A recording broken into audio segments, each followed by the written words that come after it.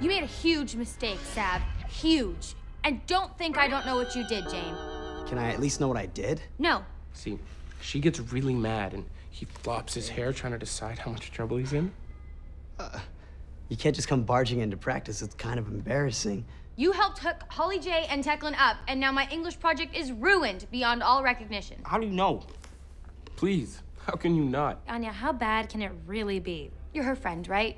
So you encourage this? Everything at this school happens to Yeah. this band, their friends, and their stupid colored jeans. Ease off, cleavage. Hey, only I get to notice the boobs, okay? Oh, now that you mention it. Hey, Okay, so what's the real problem here? See, you can't take your eyes off, can you?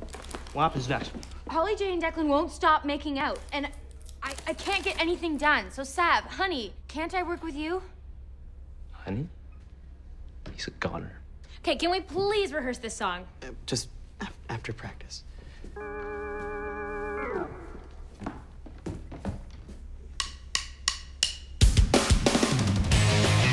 I sat around, waste away, waiting for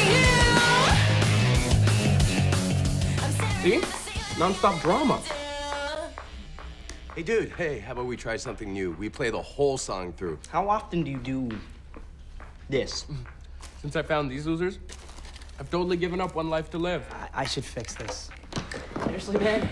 We're a band. I was gonna cough whipped into my hand, but there's really no point anymore. We can't keep getting distracted. Hello there.